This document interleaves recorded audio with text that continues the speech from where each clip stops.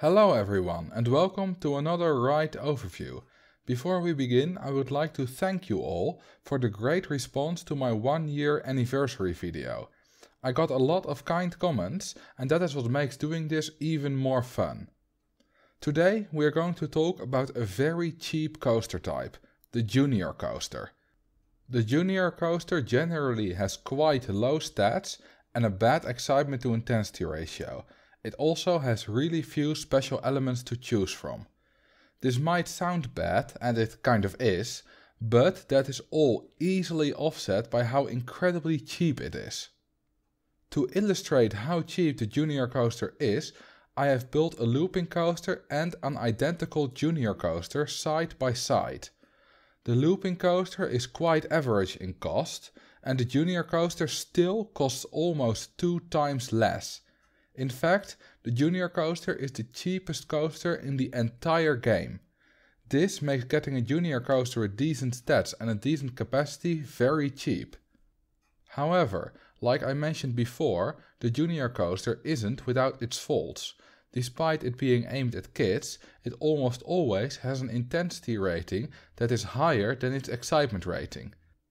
It also has an abysmal selection of elements available. It doesn't have banked curved drops or steep drops and it also doesn't have a photo section, which means that it can't make a little bit of extra money with that. It does have one element that no other coaster has, which is the curved lift hill. This is quite useful and can make your rides more compact. However, most rides have trains that are long enough that they can put curves in their lift hills as well. The curved lift hills are still more compact as you don't need straight sections between the turns, but they're not as great of an advantage as they might seem. You generally want to use the junior coaster at the start of a scenario as they're cheap and can make a lot of money. If you don't want to use micro coasters because that feels like cheating, the Junior coaster is one of the best early coasters because of its very low price. If you only charge for the entrance, the Junior is also very good, as it is once again a cheap coaster that can attract guests and keep guests off the path. It does raise the guest cap of your park significantly less than some of the big coaster types, like the Twister and Looping coaster, but it is still worth it.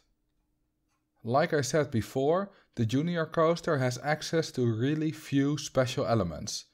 It has the station, brakes, block brakes, S-bends, small helices and large helices in vanilla RCT2. In RCT Classic and Open RCT2 it also has boosters. This might seem fantastic, but it is not as great as it sounds. They only go up to 53 km per hour and they are quite weak, meaning that you need quite a few of them to get up to speed. For compactness you're often better off using a lift hill. You can add boosters to short straight sections during the coaster to keep the speed a bit higher, but they're not nearly as useful as the boosters from a coaster type like the Twister coaster. Now let's take a look at the stat requirements that the Junior coaster has. It needs to have a drop of at least 4 meters, it needs to have at least one drop, and it needs to have a top speed of at least 25 kilometers per hour. If it fails to meet any of these requirements, its stats get divided by 2 for every requirement that it fails to meet. You may notice that these are some of the lowest stat requirements that we have seen so far. This is another reason why the Junior Coaster is so cheap.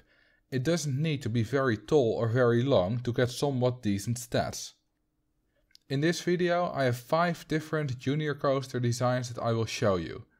Normally I would have both designs that include boosters and designs that don't have boosters for a coaster that only has boosters available in certain versions.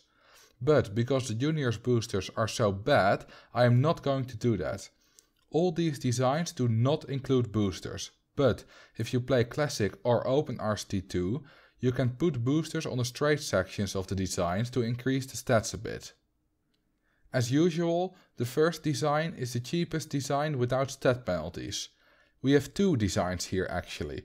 The top design is slightly more expensive, but it is also much more useful and it is the one that I use in my parks. The reason it is so much better is that you can build multiple of them way more compactly than you can build multiple of the bottom design. If you build them in a row like this, they only take up a 3x8 space each, which is tiny for a full circuit coaster.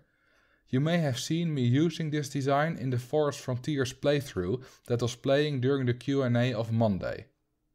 The second design is a slightly larger variant and has two trains. This one makes much more money than the previous one, but it's not as compact and as cheap, although it's still quite compact and quite cheap. This design will make way more money than the cheapest design, but building multiple of the cheapest design will attract more guests and can potentially hold more guests off the path, which is useful for preventing overcrowding. It depends on what you need. If you really need money, which you often do, this design is fantastic. Up next is the big design. It really says something when the most expensive design in the ride overview still costs less than 5000 euros. This design is the same as all the other large designs, useful for when you want a lot of capacity or want to make a lot of money per ride, or when you just want a larger coaster because you like how they look. The fourth design is a Mobius coaster, which is slightly less compact but has an incredible throughput. This can be a very good design, although guests do sometimes tend to heavily favor one side of a Mobius coaster over the other, which can lead to empty trains on the unpopular side. When I was building the Mobius coaster for this overview, I first accidentally built two separate and identical intertwined coasters. It has 6 block sections, but when you try to spawn 5 trains on it, they all spawn on the red track and 3 trains spawn inside each other at the station. The last design is one that is only useful in scenarios where you need to build 10 coasters with an excitement rating of at least 6. It does 7 laps so it has a horrible throughput, but it does reach 6 excitement without any boost from stuff like scenery and is quite compact and not that expensive. And that was the Junior coaster. It is a great coaster type because of how incredibly cheap it is. However, you do get what you pay for, as it has bad stats and not a lot of options. The designs featured in this video are in a zip file in the description. A calculator that you can use to calculate how much you can charge for your rides is also in the description. Thank you all for watching and I will see you in the next video.